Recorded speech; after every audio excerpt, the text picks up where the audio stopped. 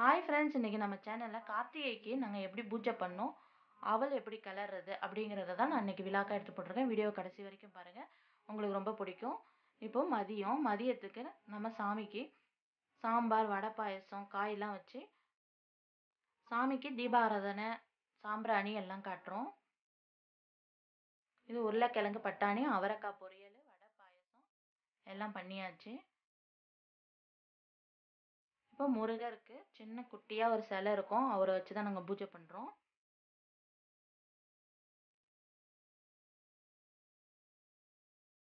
நேர்த்தியே நாங்கள் விளக்கெல்லாம் விளக்கியாச்சு. அதனால் இப்போ பொட்டு தான் வைக்கணும். மஞ்சளும் குங்குமமும் வச்சு பொட்டு எல்லா விளக்குக்கும் வச்சுக்கலாம். இது என் பொண்ணு தான் பண்ணுறாங்க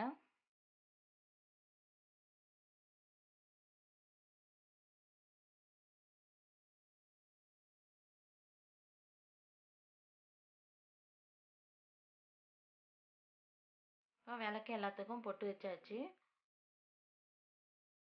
இப்போ அவல் எப்படி கலர்லாங்கிறத பார்க்கலாம் ரெண்டு தேங்காவை இது மாதிரி சின்ன சின்னதாக நான் கட் பண்ணி வச்சுருக்கேன். அது ஈரம் போகிறதுக்காக ஒரு பேப்பரில் நல்லா பரப்பி விட்டு ஃபேன் போட்டு காய விட்டுருக்கேன். இதில் ஈரப்பதம் இருக்கக்கூடாது அதனால தான் நாங்கள் ஒன்றரை கிலோ அவுள் பொரி வாங்கியிருக்கோம்.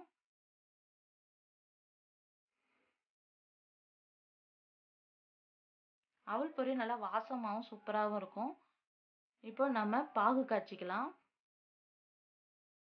ஒன்றரை கிலோ பொரிக்கு ஒரு கிலோ பாகு வெல்லம். இது மாதிரி பெரிய பெரிய சைஸாக இருந்தாலும் பரவாயில்ல. ஏன்னா நம்ம தண்ணி ஊற்றி தான் நம்ம பாகு வர வைக்க போகிறோம் அதனால் பெரிய சைஸாக இருந்தாலும் பரவாயில்ல. நான் இதுக்கு ஒரு ரெண்டு டம்ளர் தண்ணி ஊற்றிருக்கேன் இப்போது வெள்ளம் எல்லாமே கரைஞ்சிருச்சு. ஒரு அடுப்புலேயே தேங்காயையும் போட்டு நல்லா வதக்கிக்கலாம். தேங்காய் நல்லா செவந்து நல்லா வாசமாக ஆகும்போது தான் நம்ம அடுப்பை நிறுத்தணும். அது வரைக்கும் நல்லா வதக்கிக்கிட்டே இருக்கணும் விடாமல் இப்போ லேசாக தான் பொன்னிறமாக இருக்குது இன்னும் கொஞ்சம் நல்லா செவக்கணும்.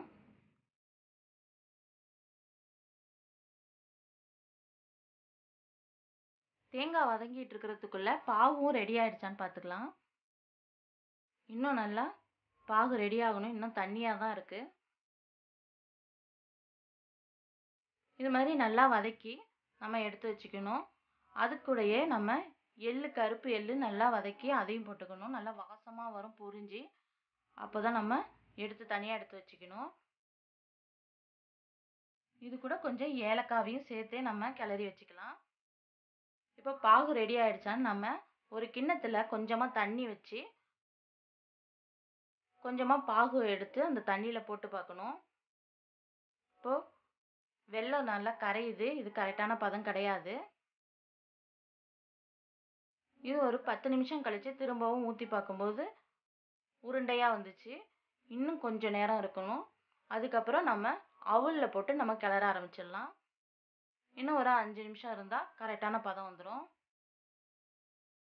இப்போ நம்ம அவலை எல்லாத்தையும் ஒரு பாத்திரத்தில் கொட்டிட்டு நம்ம வறுத்து வச்சுருக்கிற தேங்காய் எள் ஏலக்காய் பொடி எல்லாத்தையும் போட்டு நல்லா இது மாதிரி மிக்ஸ் பண்ணி விட்டுக்கணும்.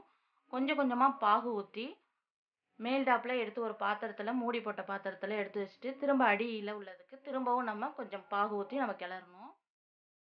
இப்போ எல்லா விளக்குக்கும் பொட்டு வச்சு எண்ணெயெல்லாம் ஊற்றி வச்சாச்சு.